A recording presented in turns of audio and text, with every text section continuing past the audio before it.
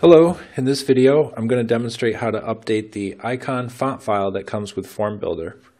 Uh, here you can see I've added a new field type or field input called file upload. Sort of does what we want it to do, but it doesn't have the icon.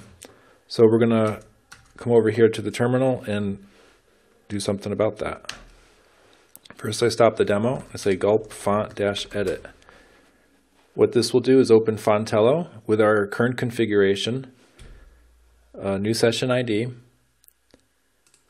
and that allows me to then drag the new icon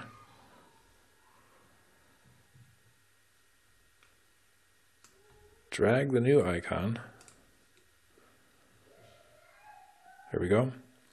Now the only other thing I need to do here, and you might not need to do this on your setup, is I have this as file input in formBuilder, so I'm just going to update that. Save the glyph, save the session.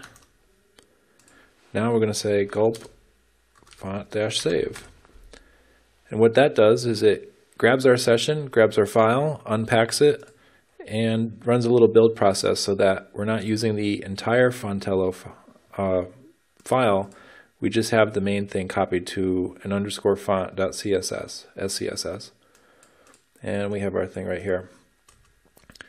So jumping back into terminal, we're going to run the demo again.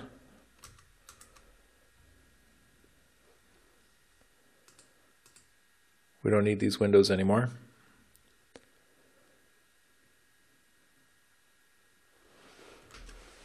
Now when the demo loads up, if you don't see your icon just yet, that's probably because the the font files are base64 encoded into the CSS file to save a network request and just make that a little bit quicker.